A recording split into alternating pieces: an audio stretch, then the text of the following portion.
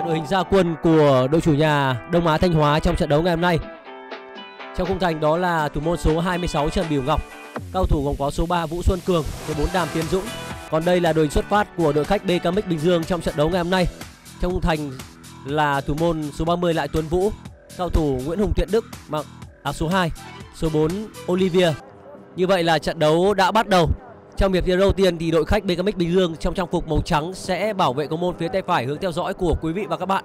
Ngày hôm nay thì trên sân Thanh Hóa có khoảng 5.000 cổ động viên đến cổ vũ cho cả hai đội. Và ngay cả ba mùa gần nhất thì sau 4 lần đối đầu, mỗi đội thắng 1 và hòa nhau hai trận. Sút xa! Sút khá căng của Pinto.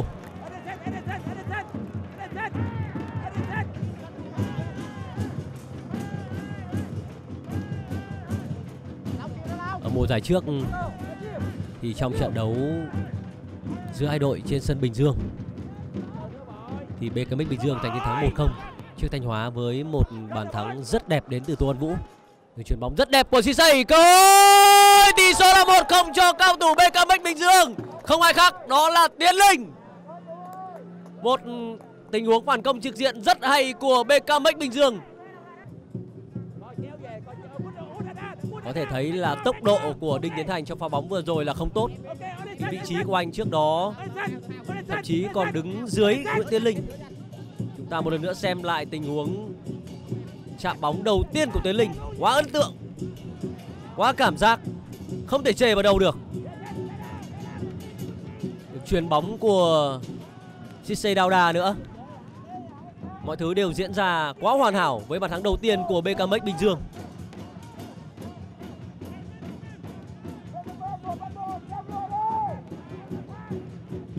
Trong đã có Tiến Linh rồi. Đấy là Tiến Linh. Tuyến hai rất đẹp. Cầm lại chơi. Khá hay. Thiện Đức. Căng ngang rồi. Bóng đã đến được vị trí của Tiến Linh rồi. Và dứt điểm một chạm không chính xác của tiền đạo bên phía BKMX Bình Dương. Bóng đi vọt xa quá nhiều.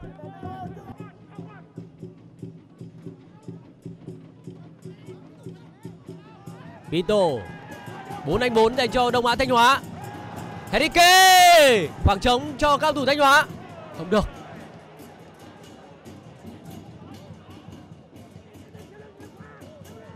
Phá hợp giữa Paulo Pito, Paulo Henrique Kane cơ hội! Tình huống khá nguy hiểm trước khung thành của BKMX Bình Dương. Đỗ Văn Vũ.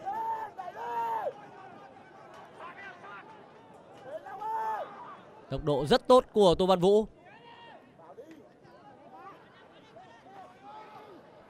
Sút xa.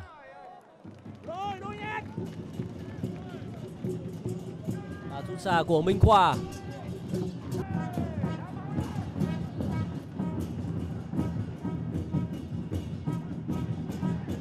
Hay, Paulo Pinto. Rồi. Paulo Pinto có hướng trái bóng tới vị trí của Trọng Hùng phòng ngự của Bình Dương đã chơi tốt ở pha bóng vừa rồi.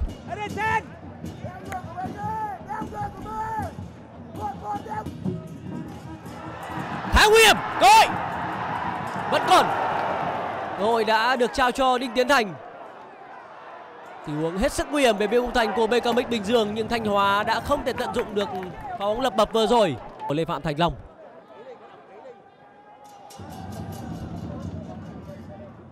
Và bắt bóng không tốt của Tuấn Vũ suýt chút nữa đã khiến cho BKMX Bình Dương phải nhận bàn thua.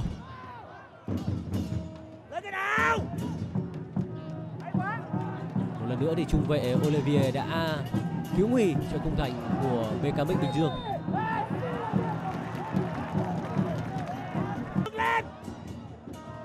Nguy hiểm!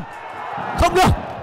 Một chút nữa thôi thì Trọng Hùng đã có cơ hội đệm bóng vào khung thành của BKMX Bình Dương. Đàm Tiến Dũng. đã nguy hiểm. Pha tạt bóng lỗi của Đàm Tiến Dũng vô tình là một pha bóng nguy hiểm về khung thành của BKMX Bình Dương. Và một lần nữa thì Tuấn Vũ lại lựa chọn giải pháp an toàn, đó là đấm bóng để chịu phạt góc.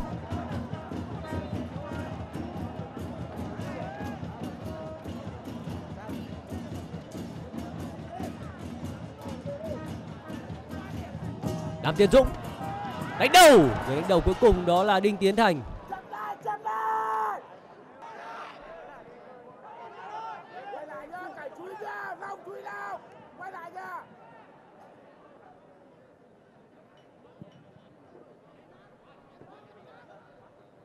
Rõ ràng là cặp tiền đạo Jamie Linh và Rafael Sơn rất lợi hại. Coi!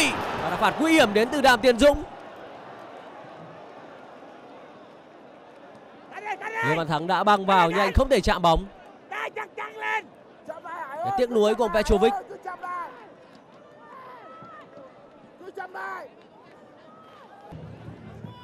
Ok theo theo theo giáp theo giáp theo linh. Edison Edison. Theo canh theo canh ok canh coi rất nguy hiểm tiếp tục là cơ hội của Tiến Linh. Cơ hội khá ngon năn dành cho Tiến Linh. Hơi cầu toàn ở tình huống dứt điểm vừa rồi.